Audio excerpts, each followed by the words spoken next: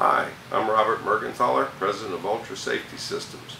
For 30 years, we're the manufacturer of Ultra bilge pump float switches, magnetic bilge pump switches. We hand make them in West Palm Beach for 30 years.